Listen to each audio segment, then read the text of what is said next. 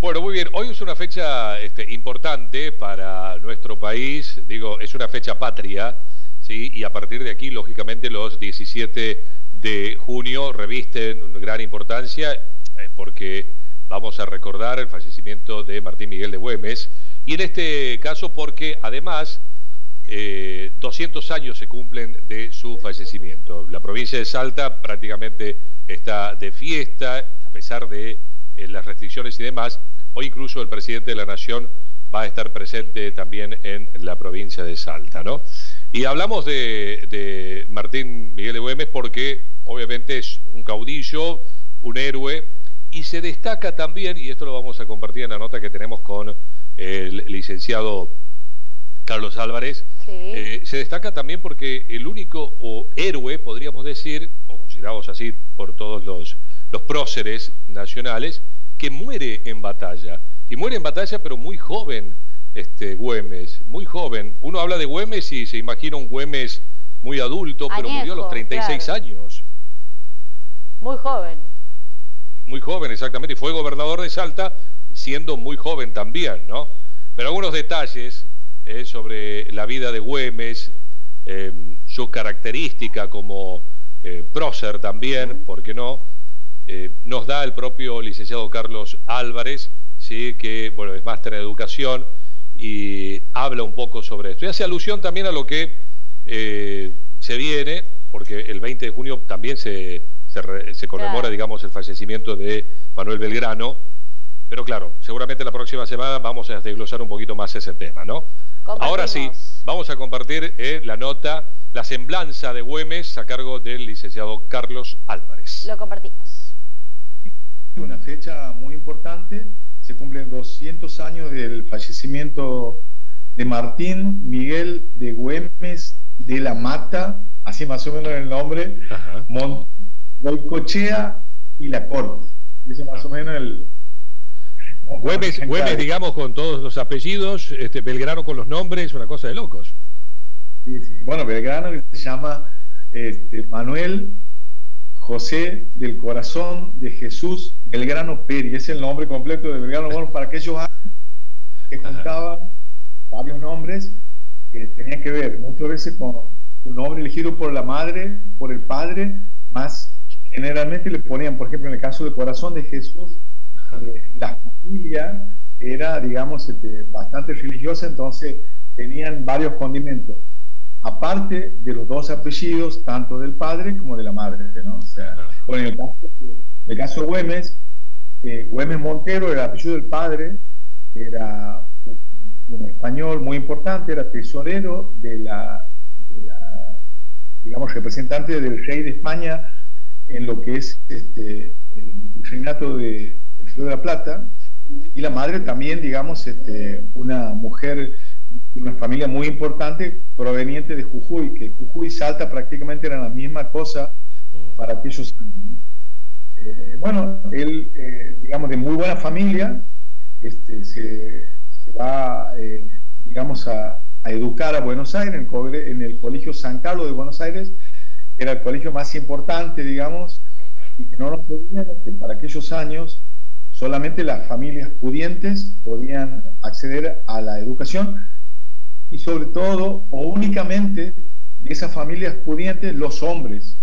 La, educación a, los niveles este, formales como, sería hoy no, no tienen acceso las, las mujeres, por supuesto, ni a los, ni a los estudios primarios y mucho menos a los, a los secundarios. ¿no?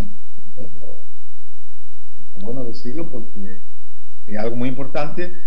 En algún punto, con el tiempo después, con influencia de Belgrano primero y de Sarmiento después, eso va a cambiar porque eh, ya eh, por ahí un poco antes de 1810, Belgrano, cuando era secretario del consulado del virreinato, él hablaba ya de que la importancia que era darle acceso a las mujeres, incluso tenía la teoría de, la creación de escuelas eh, para mujeres, escuelas de agricultura, escuelas de navegación, este, bueno, entre Después, por supuesto, Sarmiento que termina por redondear esa idea con 1420, que es, digamos, la ley de educación primaria gratuita y laica, sobre todo que para aquellos años era la iglesia la única encargada de dar educación y únicamente a los hombres, como te digo, ¿no? Bien.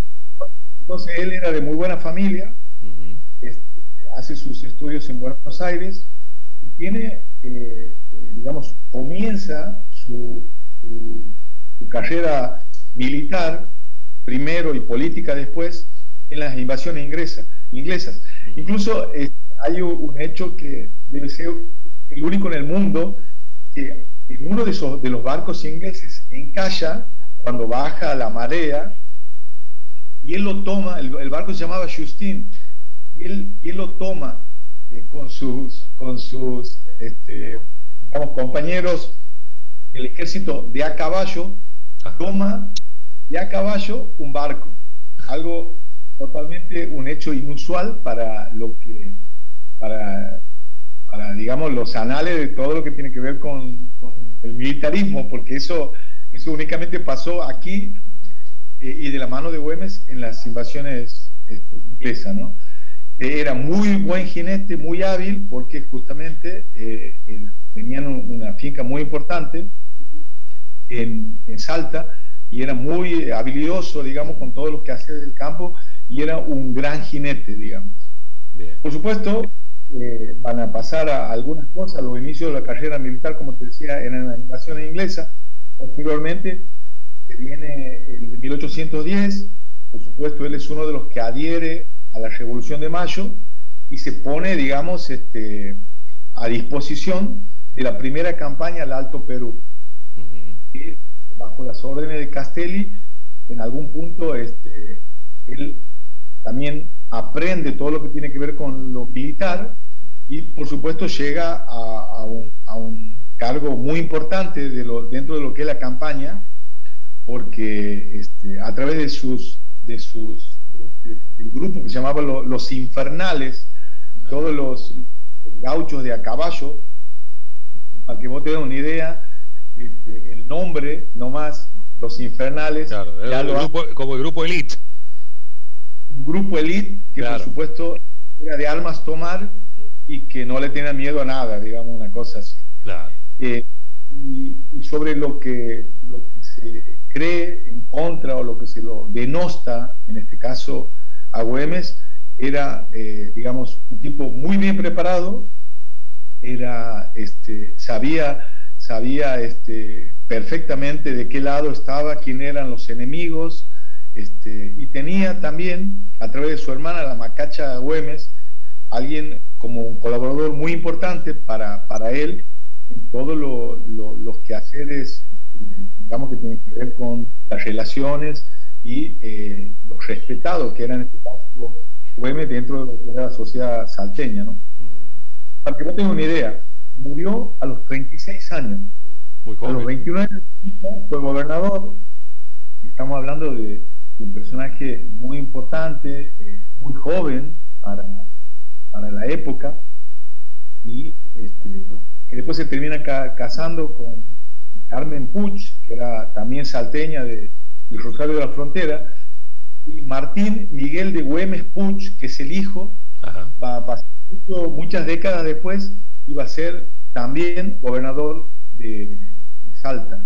Algo parecido a lo que pasaba aquí en Santiago cuando primero fue, este, digamos, o, el hijo también va, va, a terminar siendo muy importante, pero hablamos de Juan Francisco Borges, que en unos años Juan Francisco II Borges también va a ser gobernador de Santiago, ¿no? Es como una este, como un legado, digamos, de, los padres que después continúan los hijos. Ahora, eh, eh, eh, licenciado, te pregunto, el, tema del protagonismo, digamos, de Güemes, en este último tiempo, sí, estamos resaltando la figura de Martín Miguel de, Miguel de Güemes. ¿Por qué la historia de alguna manera lo ha tenido, digamos, con una figura casi secundaria, cuando en realidad ha hecho muchas cosas importantes, ¿no? Muchas cosas importantes y sobre todo, para que vos tengas una idea, gana la confianza mm. de San Martín. Que San Martín viene primero como eh, jefe del ejército del norte, reemplazándolo a Belgrano en este caso, mm. pero cuando lo descubre, entre comillas, después de algunas charlas y después de sorprenderse eh, por el nivel, no solo intelectual, sino también por el nivel de, por la valentía. En algún punto, digamos, este, eh, San Martín se va tranquilo a armar el ejército de los Andes en Mendoza porque sabe que a través de Güemes prácticamente va a tener cerrada la línea, eh, digamos, del norte, que que por supuesto viene, era uno de los peligros para la incipiente Revolución de Mayo. Estamos hablando del año 1812, eh, algo así, entonces este, ha tenido muchos años de influencia dentro de lo que es el norte, y como te digo, como gobernador de Salta, este, y es uno de los primeros que declara la autonomía salteña. Bueno, un tipo, como te decía, muy, eh, muy en claro tenía cuál era su posición, cuál era su, posición sobre todo ideológica. Entonces, eh, realmente un, héroe eh, con todas las letras. Y te digo más, es el único que muere en el campo de batalla. Todos los, nuestros héroes en algún este, San Martín, por ejemplo, eh, muere a los, a los 70 y de años, eh, Belgrano muere enfermo, pero este es el único que lo matan, digamos, en la batalla.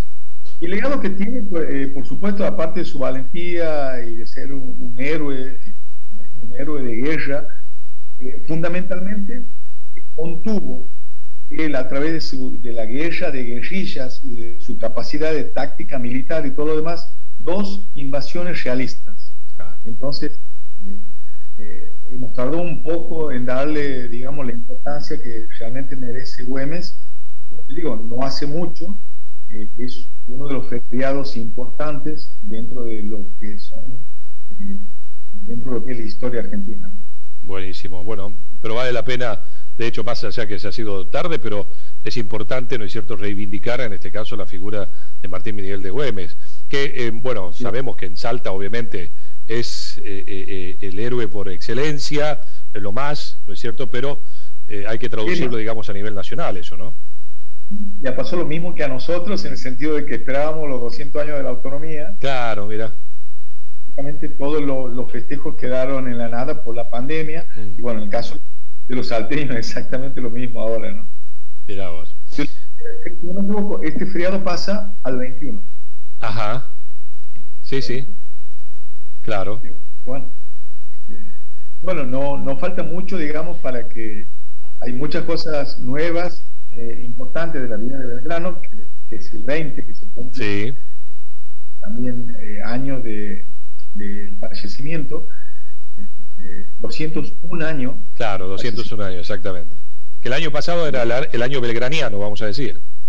Exactamente. Y bueno, y eh, como te decía, hay, hay, muchas cosas nuevas que seguramente vamos, vamos a comentarlas el día 20 o 21, en este caso, cuando se pueda, en relación a, cosas nuevas que aparecen de Belgrano y que realmente sorprenden, este, como nos sorprende lo de Güemes también y, en algún punto también eh, revalorizar todo lo que tiene que ver con nuestros caudillos, que durante años han sido denostados por la historia oficial, eh, donde les daban, digamos, este, cierto eh, nivel, o mejor dicho, sin nivel, mm. en donde eh, más, digamos, los tenían como patrones de estancia, no como los sido algo muy importante para lo que es el federalismo, algo muy importante para lo que fue la posterior constitución de la nación, en donde justamente en esta puja de unitarios y de federales triunfan los caudillos con la, con la constitución del 53. Así es. Aparte, de mucha gente, caso Güemes, unos años más tarde aparece Facundo Quiroga, aparece Stanislaus López, aparece Pancho Ramírez, este, y aparecen muchos eh, hombres importantes que van a terminar, digamos, hasta que apareció Urquiza, que triunfa sobre Rosas. Estamos hablando de todos caudillos o, de, representantes de cada una de nuestras Bustos en Córdoba, este, Quiroga de La Rioja, que ya te en La Rioja también aparecen eh, hombres importantes, como es el caso de, Felipe Varela, como es el caso de Chacho Peñalosa. El caso de Felipe Varela, posteriormente, eh, después del 53, va a ser el último levantamiento federal ante el unitarismo porteño. Estamos hablando ya en la presencia de Mitre. Entonces, los caudillos han sido muy importantes para el devenir eh, de nuestro país y, por supuesto, en algún punto triunfan con la revolución eh, dentro de lo que es la constitución del 53, en donde nuestro país eh, constitucionalmente pasa a ser republicano y federal. ¿no? Eso Bueno, ahí está entonces sí, el licenciado Carlos Álvarez hablándonos un poco sobre eh, la vida de Güemes, la importancia de su figura y de paso también haciendo referencia ¿no? a Manuel Belgrano, 201 años de su fallecimiento, el día domingo se va a cumplir, y también cosas nuevas que eh, en la investigación, digamos, de los centros belgranianos también se van descubriendo de la vida de Belgrano, ¿no? Que, bueno, eso seguramente la semana que viene vamos a estar este, refiriéndonos. Pero hoy la figura excluyente, obviamente, es eh, Martín Miguel de Güemes. Se celebra 200 años eh, de su paso a la inmortalidad.